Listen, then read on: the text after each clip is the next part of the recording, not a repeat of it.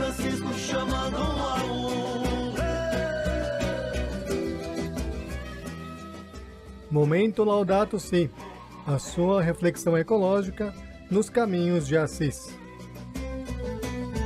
Ribeirinhos guardiões da nossa casa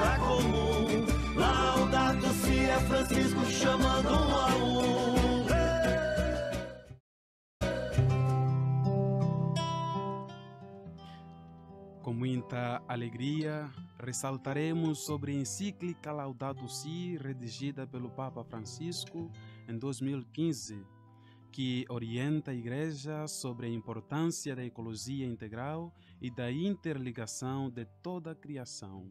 Para o nosso momento, separe a sua Bíblia e, caso possua também, a encíclica Laudato Si.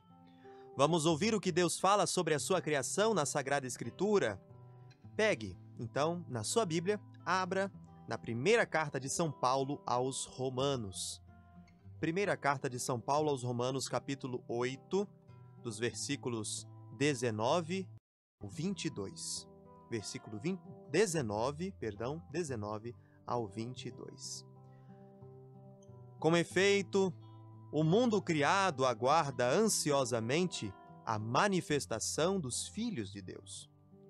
De fato, as criaturas estão sujeitas a caducar, não voluntariamente, mas pela vontade daquele que as sujeitou, na esperança de serem também elas libertadas do cativeiro da corrupção, para participarem da liberdade gloriosa dos filhos de Deus.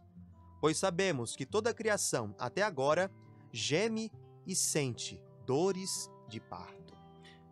Também meditaremos um trecho da encíclica Laudato Si sobre como todas as criaturas estão interligadas pelo amor de Deus.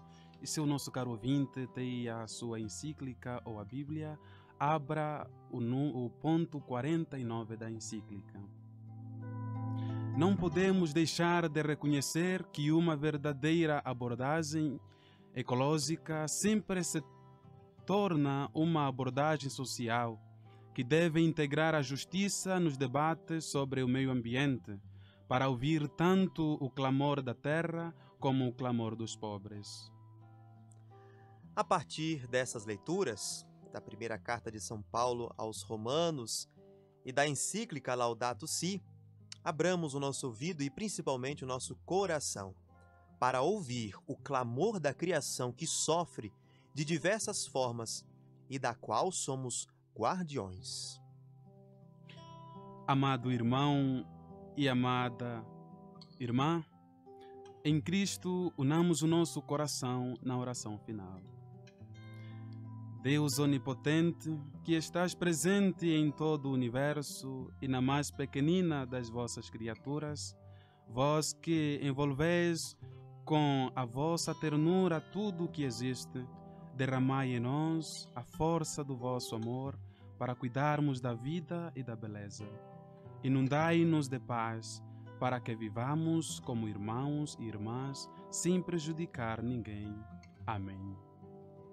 Esse foi o momento Laudato Si. Esperamos que essa reflexão sirva para você, para sua família, como um guia que desperte a consciência de olhar tudo que foi criado como filhos do mesmo Pai Criador.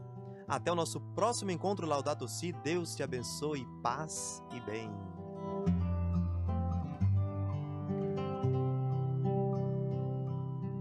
Ribeirinhos guardiões da nossa casa comum, Laudato Si é Francisco chamando um a um.